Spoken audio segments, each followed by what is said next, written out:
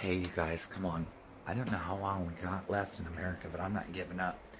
When you lie and say Melania sends her respects and wishes she could be here and she's right there next to you, that shows how selfish you are. You don't even know what's going on.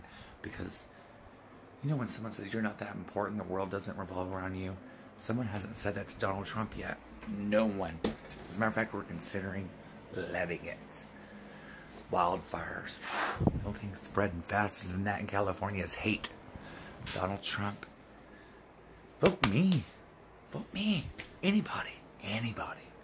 But Trump. Pence. Yep. It doesn't matter. Anybody has no empathy. He has no intelligence. He has no heart.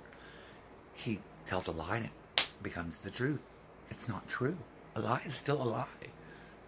Somebody please help this damn country.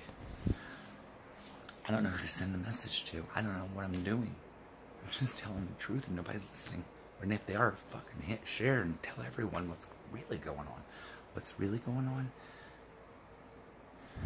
Hate, greed,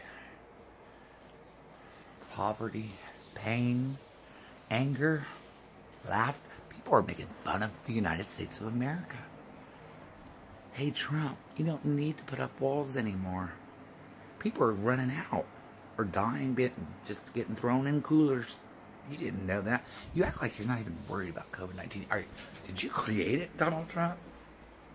I know it's. I don't care if you guys think I'm crazy.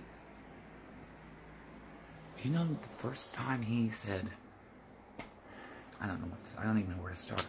I don't even know where to start. Hillary Clinton.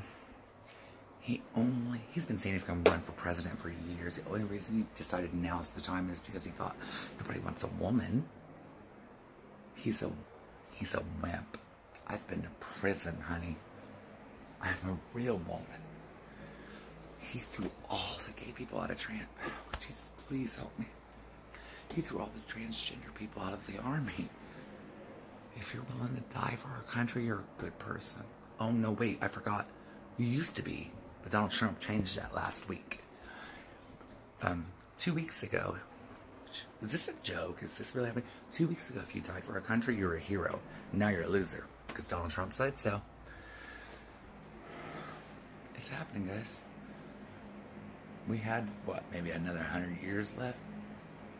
I'd say about less than two months. If There should be no consideration this, this is out of hand.